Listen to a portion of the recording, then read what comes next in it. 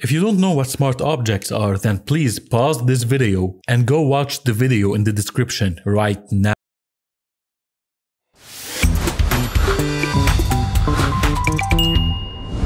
This is a donut.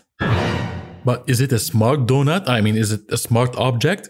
No, because there's no smart object icon in the layers panel. So let's right click on the layer and convert it to a smart object. Now, if you apply a filter, like Gaussian blur for example, you will get a smart filter below the layer. But why? What's the value of a smart filter? Why does it exist? What's the meaning of it? What's the purpose? Stop. Well, if you double click on the Gaussian blur smart filter, you can make adjustments to the filter, so you can unblur it if you want.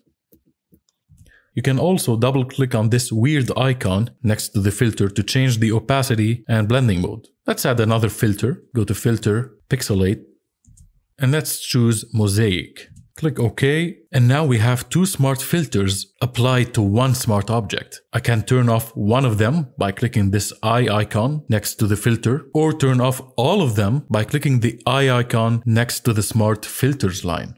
But here's the thing. Photoshop applies smart filters from the bottom up. That means that in this case, we're blurring the donut and then applying a mosaic effect. But if we drag the Gaussian blur smart filter and put it on top of mosaic, then we will be applying mosaic before Gaussian blur. Get it? This is blur then mosaic, and this is mosaic then blur. And this, this is just charm. And if you have another smart object, you can press Alt or Option and drag the smart filters to duplicate them.